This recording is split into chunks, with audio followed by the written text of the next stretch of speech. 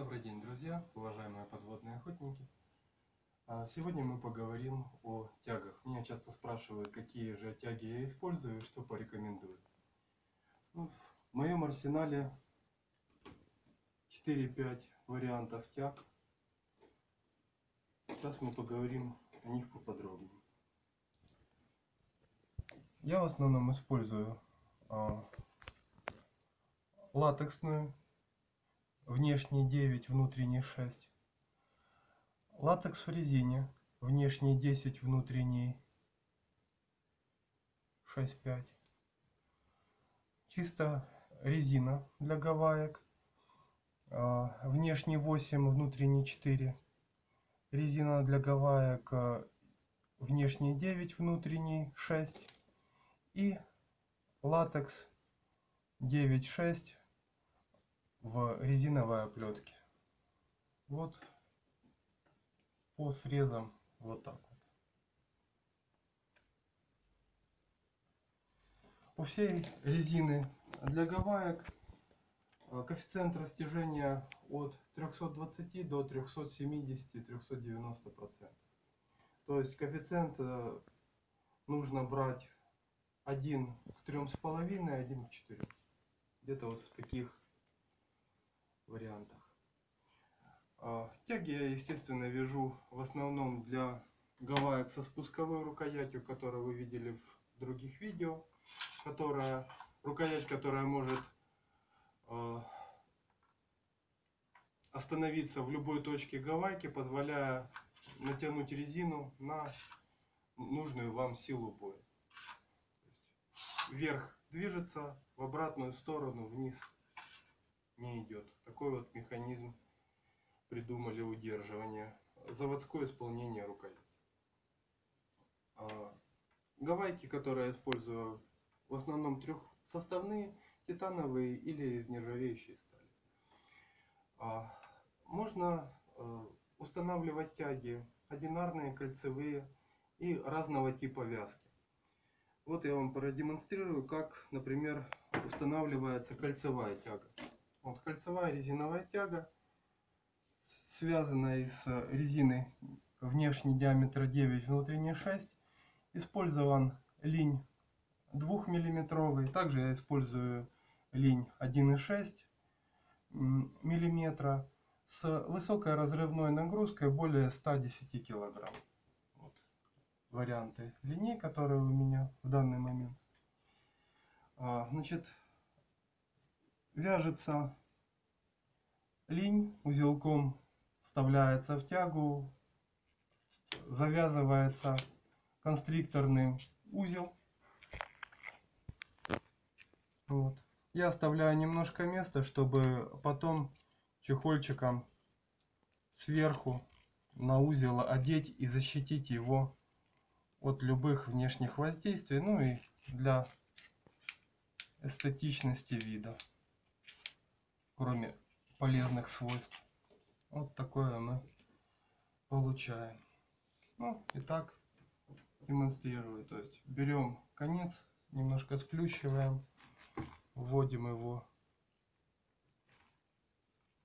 в отверстие, подравниваем, проводим кольцо резиновую тягу. Сбрасываем петлю, взявшись за оба конца, чтобы они одинаково находились от гавайки, затягиваем. Перехватываем, вправляем в ручку. Можно вправлять немножко под натяжением, так будет легче. Все, гавайка снаряжена, готова к зарядке. Это у нас кольцевая тяга резиновая. Теперь покажу вам одинарную тягу. Снимать тоже все достаточно просто. Можно это делать в воде, в полевых условиях. Ну, продемонстрирую одинарная тяга, латекс внутри, сверху резиновый чехольчик. А, линь 1.6. Вот. Продели через кольцо в деле. Затянули. Здесь специально я устанавливаю на конце резину для того, чтобы не было никаких движений в сторону. Чтобы все четко работало. Ну, опять-таки, установили, зарядили, спустили. Вот. И есть еще один самый интересный, на мой взгляд, вариант установки одинарной тяги. Сейчас вам его продемонстрирую.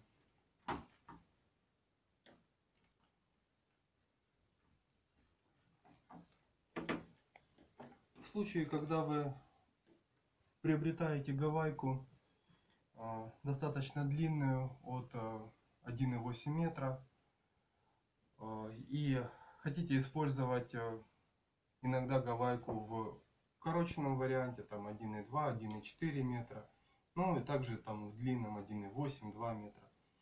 В этом случае у вас вяжется тяга таким образом, без всяких дополнительных резиновых а, уплотнений, а, просто два, две петли из линия. Одна чуть-чуть длиннее, другая чуть короче.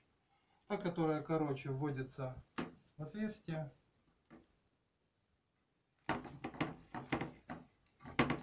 Захватывается. Та, которая чуть длиннее, делается накидная петля. и Накидывается на рукоять. Тоже она самозатягивающаяся, так что не должна слетать. Вот, и зарядили. Это для большой длины. Теперь же, если мы хотим эту же тягу использовать для меньшей длины, причем даже с увеличенными возможностями по мощности боя.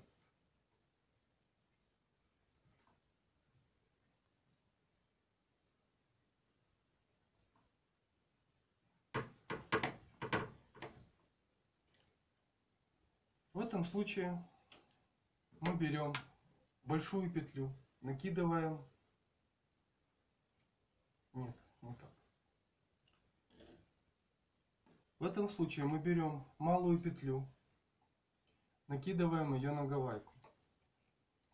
Проводим немножко. А большую петлю вводим в отверстие нашего концевика. И открываем ее. Теперь малую петлю подводим ближе к отверстию. Берем всю, всю тягу целиком и запускаем ее в большую петлю. Вот таким образом.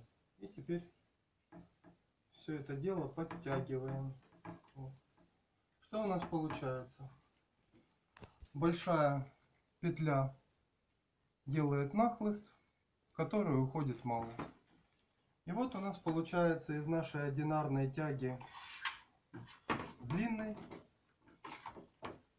кольцевая короткая, которую мы используем уже с усиленным боем.